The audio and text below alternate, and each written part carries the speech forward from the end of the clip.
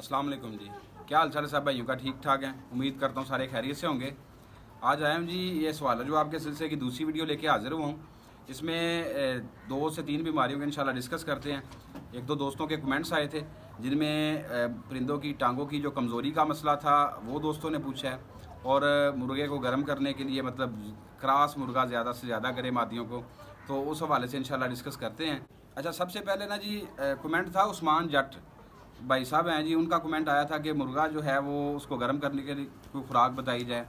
तो एक और दोस्त का सवाल था कि परिंदा टांगों से कमज़ोरी दिखा रहा है मतलब क्रॉसिंग में मसला कर रहा है। तो दोनों के लिए एक ही मेडिसन वो इन उससे फाका होगा। ये तजर्बे में मेरी बात मैं इस्तेमाल करता भी रहा हूँ जी इससे पहले। तो मैं आपको नुस्खा शेयर करता हूँ तो वो आप चीज़ें भी नोट कर लें और तरीक़ाकार भी इन आपको बता देता हूँ। आपने क्या करना है जी, लौंग के दो फूल लेने हैं, लौंग पंसारी आम किसी जनरल स्टोर से आपको मिल जाएँगे दो अदद लौंग उसकी जो डंडी है वो आपने ज़ाया कर देनी है जो ऊपर फूल है वो आपने जी रख लेना है दो लौंग के फूल मोटी इलायची को खोल लें उसमें से तकरीबन सात बीज आठ बीज आप निकाल लें वो दाने होते हैं जी मोटी इलायची के आप लौंग के फूल और मोटी इलायची के जो बीज हैं, इनको किसी छोटी सी किसी कुंडी वगैरह में, किसी चीज़ में आप कूट लें, थोड़ा सा पाउडर कर लें। उसके बाद आप इसमें ऐड करें गुड़। गुड़ तकरीबन आप टुकड़ा, तीन चार चने के बराबर, ठीक है जी, वो आप गुड़ डाल लें, अच्छे तरीके से उसको मिक्स कर लें। आप ये तरीका कर करें, अंडे की जर्दी असल में इसमें मिक्स की जाती है, आधी जर्दी। तो वो अक्सर होता है कि ये पानी बन जाता है। जब इसको मिक्स करते हैं, गुड़ होता है तो आप ऐसे करें कि रात के टाइम पे मुर्गे को पहले आधी अंडे की जर्दी दें, ठीक है? उसके बाद ये जो मेडिसिन तैयार किया जिसमें दो लोगों के फूल हैं और मोटी इलायची के सात आठ बीज और गुड़ है, ये आप इसको मिक्स करके पहले से रख लें। अंडे की जर्दी आदि देने के बाद ऊपर से ये दें और तकरीबन एक दो सीसी आप पानी दे दें। और ये तकरीबन तीन से चार दिन दें। उम्मीद है कि पहले दिन नहीं तो दूसरे दिन इंशाल्लाह आपको अच्छा खासा अफाका नज़र आएगा। जो परिंदे क्रॉस कम करते हैं, वो इंशाल्लाह ज़्यादा से ज़्यादा क्रॉस करेंगे। और उसके बाद जो है, ये जो टांगों की कमज़ोरी का मसला है, ये भी इससे दूर होगा। और एक और भाई का कमेंट था, टांगों की कमज़ोरी के हवाले से, मसलन जो पट्ठे हैं अक्सर छः से सात माह की एज में आके पट्ठे टांगों से कमज़ोरी दिखाते हैं। अब ये होता है कि मियाँ वाली ब्रीड में थोड़ा सा कम है, हमारे जो बंद गद्दी का शौक़ है ना जी, इसमें ये ज़्यादा इशू आता है क्योंकि बड़ी हाइट के बनते हैं, हमारे से वो उनकी खुराक जो है, वो डाइट जो मेनटेन नहीं होती। तो अक्सर परिंदे जो होते हैं जी, वो कमज़ोरी में आ जाते हैं। दूसरा ये होता है कि परिंदे भागते हैं एक दूसरे के पीछे, उसकी वजह से भी जो बच्चे होते हैं, उनमें कमज़ोरी का ये ज़्यादा मसला आता है।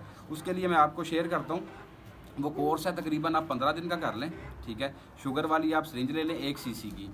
इंजेक्शन आपने कौन सा यूज़ करना है? बी बारह और बी कम्प्लेक्स ये आप नोट कर लें।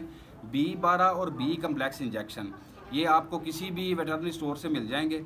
ये ताकत के हवाले से हैं मतलब ये मैदे को भी ताकत देते हैं, बुखार के बाद होने वाली कमज़ोरी को भी वफाका होता है, पट्ठों की ताकत के लिए है। ये आप पंद्रह दिन आपने इस्तेमाल करना है daily half C C B बारह और half C C B complex ये आपने लेके मिक्स कर लेने मतलब एक ही सीरीज़ में आपने फिल करने हैं और ये आपने इंजेक्ट कर देना है।